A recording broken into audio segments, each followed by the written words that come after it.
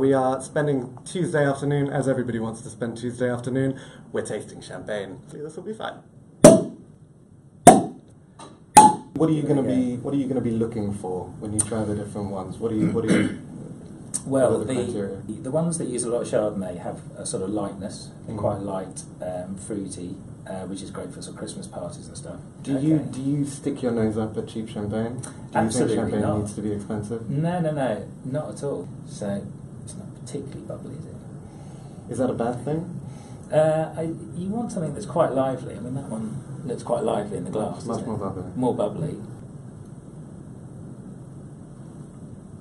So it's got that lovely sort of yeasty biscuit character. Why don't you Why don't you try the second? Okay, this looks a bit more lively. Um, different proportions of grapes in it, Mhm. and also maybe it's been aged maybe longer, I'd say, for that one, because that's quite sort of rich and almost sort of old worldy smelling. In the mouth, that's slightly less powerful. It's slightly lighter and more, more sort of aromatic. You Okay. Well, this is very lively. Looking, that's got the most bubbles, isn't it? Yeah. That looks great, actually. Oh, again, really different to the other two. Amazing difference in smell.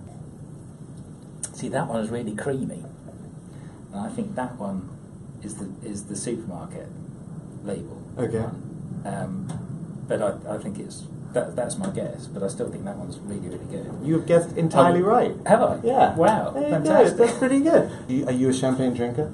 Um, yes, but I have like a really strong wine background.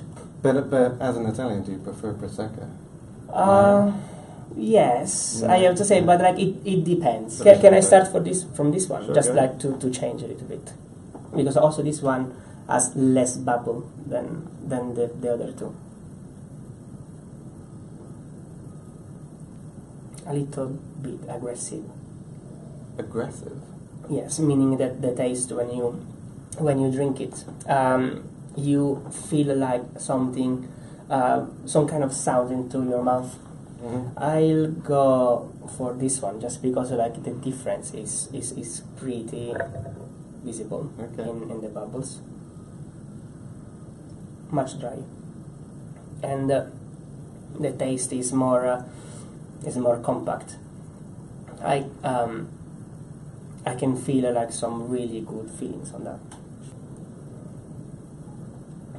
White grapes, um, quite a wine taste. So which one do you think is the nine? I think the 9.99 is this one that one. Yeah. And why do you pick that one? because of the taste. I think it's it, it- it's a really rough taste. It's it's enjoyable. It's really really good. But between these these two, like it gives me completely another feeling in the mouth.